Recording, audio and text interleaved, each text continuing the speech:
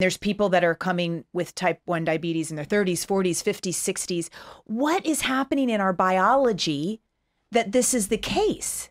It's a it's a phenomenal question. The, the truth is that nobody knows the answer to that question, and there are a lot of uh, like hypotheses from the scientific world that have been tested and seem to be linked to type one diabetes, uh, you know, formation. But there's no like smoking gun, like oh, this is this is the reason why people are developing type one diabetes.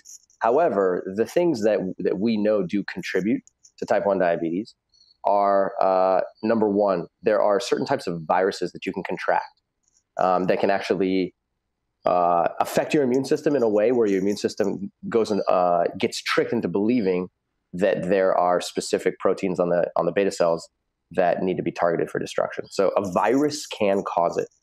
Um, there's also, as far as our food is concerned, there's two leading theories about what could potentially cause type 1 diabetes. One of them is cow's milk, believe it or not. Um, and there are proteins inside of cow's milk that are very similar in their in their amino acid sequence to some of the proteins that are on the surface of the beta cells inside of your pancreas. So what ends up happening is that you consume milk uh, at a young age, and you consume a good amount of it, as we were all told, because you know it was the '80s and it was cool, and we saw billboards of Andre Agassi drinking milk, and so that's what we did, right? And so over the course of time, the more milk you drink, what ends up happening is that it causes um, gut permeability. In other words, there are microscopic holes in the lining of your gut that actually get caused as a result of inflammatory molecules coming through your gut at all times. And so some of the like when proteins come into your gut, they're they're supposed to get chopped into individual amino acids or sometimes two or sometimes three at the most. But what ends up happening is if when you have these holes that are like perforations inside of your gut, then uh, amino acid, I'm sorry, uh, amino acid chains can end up escaping into your bloodstream when they're larger than three amino acids. So they can be four, five, seven, 10, 15, 20 amino acids long. So now you have these foreign amino acid chains that are inside of your blood where they're not supposed to be. And your immune system takes a look at it and says, What is that?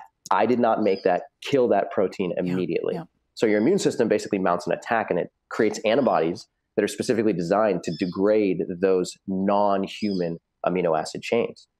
The problem is that when those amino acid chains are very similar to amino acid chains that are inside of your body, then your immune system can easily get tricked. And it's this process called molecular mimicry, where your immune system says, oh, hey, look, that's a non human amino acid chain, kill that.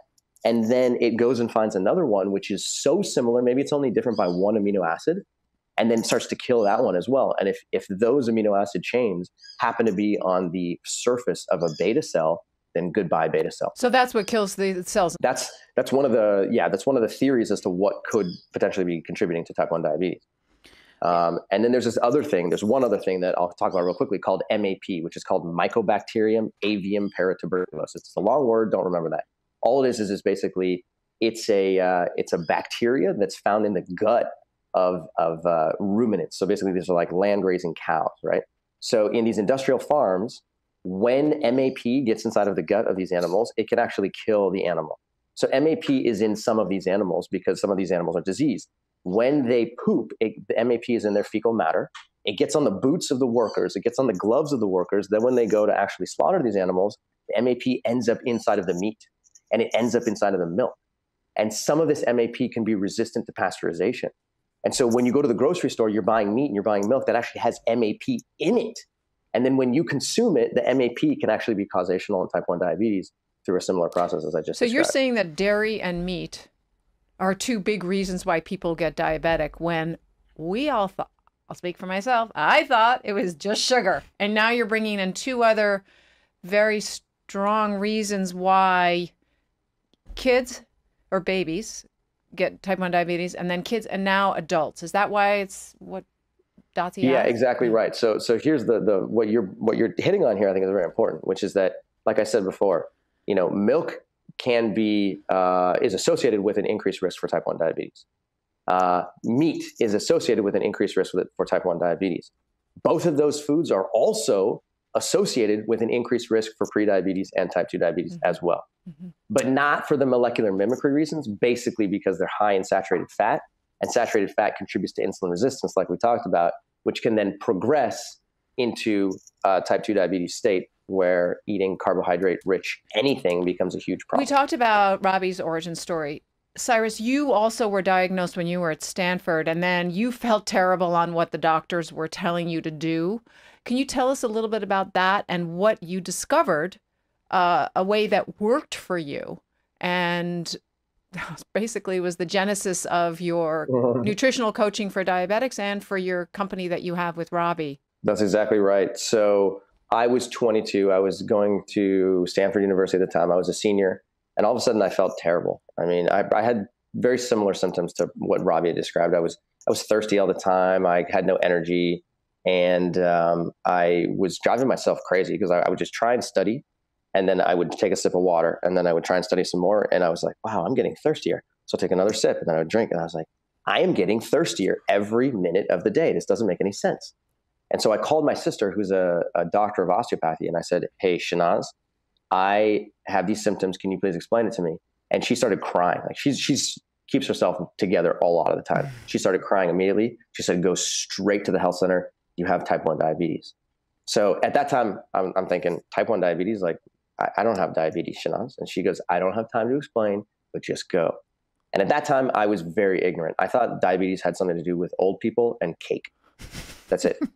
right? so here I am, like which it may, okay, well. but that's not entire story. so neither of those applied to me. So long story short, I ended up going to the hospital. I ended up uh, they gave me they checked my blood glucose. It was in the six hundreds, six times higher than it needed to be. And then 24 hours later, I was discharged with a blood glucose meter, a prescription for insulin, uh, test strips, a life alert bracelet, and a carbohydrate counting guide. And I returned to my dorm room and I was like, you have got to be kidding me. I just turned into a medical patient mm. overnight. This doesn't make any sense. So the doctors at that time told me that the only way to live with type 1 diabetes was to eat a low carbohydrate diet because that's all that they knew at that time and that's that information is still being passed around even today. And so I tried to limit my carbohydrate intake. Mm. I tried to bring it down to like 75, maybe 100, 125 grams a day um, but you know, I'm an athlete and I love to play soccer and I love to go to the gym and lift weights. And I got to say, you know, when when I'm sitting there eating turkey burgers for breakfast and eggs for lunch and ham and cheese for dinner, I didn't have very much energy. Mm-mm.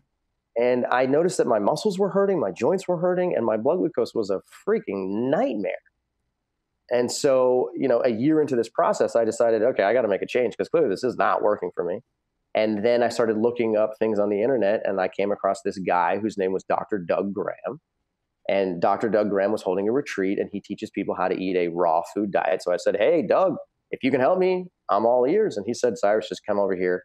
I'm about to blow your mind. So I said, Great. I love the confidence. so I go to his retreat. Uh, within a week, um, I dropped my insulin use by 40% in seven days.